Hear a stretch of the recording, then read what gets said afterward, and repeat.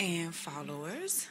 This is the Apetebi Elosha Ola Omi Akalatunde. And I am rushing out today. I have a very busy weekend this weekend.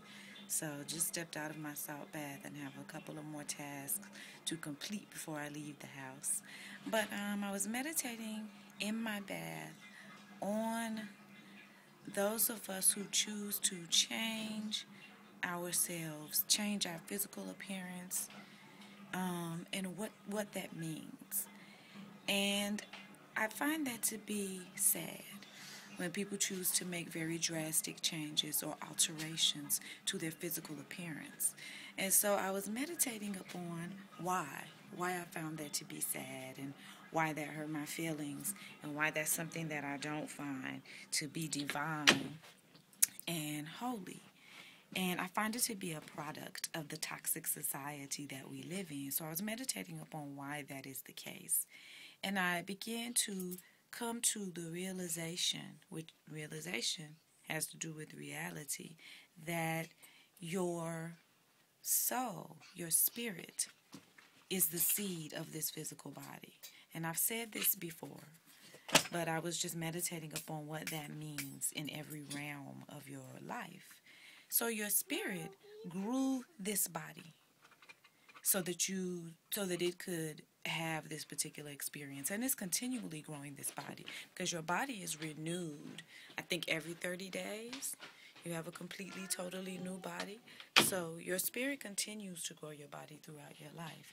But your spirit grew this body and this self this physical self for particular reasons. So when you alter that you are in essence saying, you know, um, I don't agree or I'm opposed to what my spirit is doing. And I think that whenever we move opposite of our essential selfhood, which is spiritual, then we move in the wrong direction.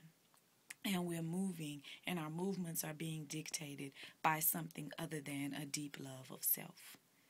So anything that causes you to mutilate or to um, attempt to change in the way of not accepting your total and complete selfhood is something that's moving you away from self love and self acceptance.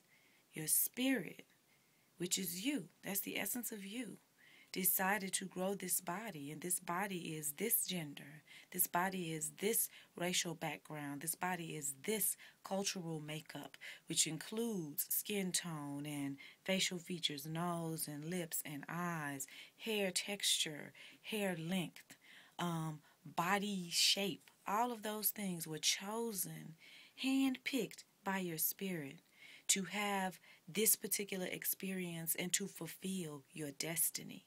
So when you move outside of that essential selfhood, you're moving away from the fulfillment of your destiny.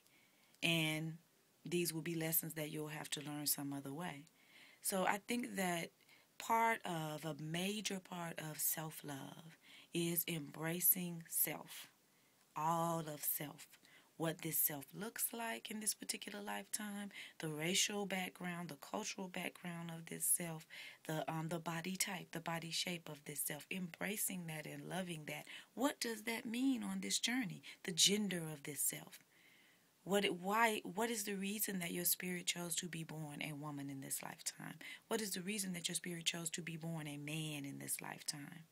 Not attempting to change it, but embracing it and gaining an understanding of what it means and how it was to how it is to propel you along this journey of life. The reason for life, remember, is divinity. You are here to become Orisha. You are here to become divine. So what about this physical makeup is propelling you towards divinity? Because anything that's altering it is only a, an illusion it's something that's closing your eyes. It's something that's deluding you. It's something that's keeping you from your actual path. How, no matter how difficult that path may be. You may say, well, it's easier for me to walk this path if I'm altered. But the difficulties are what make you stronger, are what you know, sharpen you and what mold you down into exactly what you're supposed to be. So, any alteration of your physical self is a deviation from the fulfillment of destiny.